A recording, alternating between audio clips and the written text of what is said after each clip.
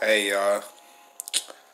I'm just coming to y'all today because uh, I had a little issue, you know, I ran into, you know. Uh, somebody said I was racist.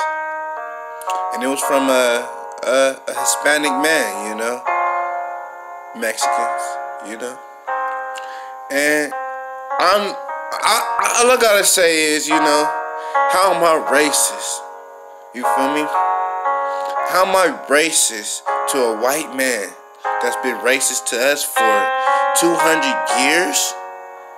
And I say one word, like cracker, and then, then I call the homie a wetback. Yeah, I called that motherfucker that. But don't get offended, you feel me? Cause all y'all motherfuckers be saying nigga and shit, you feel me? So if I start calling y'all motherfuckers wetback and motherfucking, uh, tortilla eaters and shit, you feel me? Y'all gonna really think a nigga racist, you feel me? But yeah, just really this whole message was, you feel me? Don't use the N word if you don't want somebody else to be racist to you. Cause I will be you spick, you motherfucking cracker, you pack of wood, stop playing with me. I'm racist when I want to be, you feel me? But I love everybody, you know, I'm racist to my own kind, you know? You feel me? Like I, I, I do a whole racist joke. You feel me?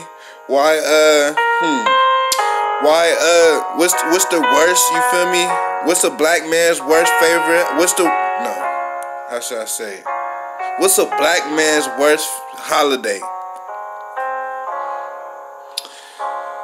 Father's Day. You know what I'm saying? Like you know, I can be racist too. You feel me? It's Father's Day. You feel me? You get me? You know what I'm saying? I'm racist. But don't be racist, cause I really get racist. Like, you feel me? What do you call a pack of white people?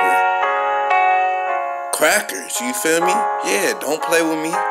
You know, I stop playing with me, nigga.